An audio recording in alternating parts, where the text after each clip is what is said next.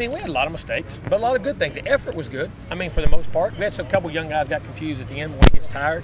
But for the most part, the focus, the concentration, the guys' attitude, the things they did, I, I was pleased in that part of it. I mean, we got a long way to go and we got to get a lot better, but the the want to and the you know just from the mat drills we saw it, I think it carried over. I, th- I think it went well, man. We had a lot of fun out there, just getting back in the shape of things, and you know, just getting off that you know, a little bit of rush, you know, and coming in here and just getting the job done. Everybody's pretty much enthused. You know, there's a lot of enthusiasm on the defensive side of the ball, and uh, you know, those, you know, every, uh, everybody worked hard in mat drills, and uh, during, during January, you know, took the conditioning pretty hard, and, and, it's paying off right now. I didn't really see too many guys bending over. You know, uh, a lot of them were standing up, had their hands on top of their head, and uh, that defense, man, fired up, huh? And, and, and the offense, you know, it's just always a high tempo. A lot of, you know, everybody, I, I just feel that everybody was on the same page. This year's counting down. You know, it, used to be, you know, uh, I just can't wait to get to the end, but, you know, now it's like counting down. It's like, you know, everything counts, you know, match to summer to uh, spring ball to summer conditioning to the fall practice. So, you know, every, everything's counting and, uh, you know, it feels like it's going by faster than,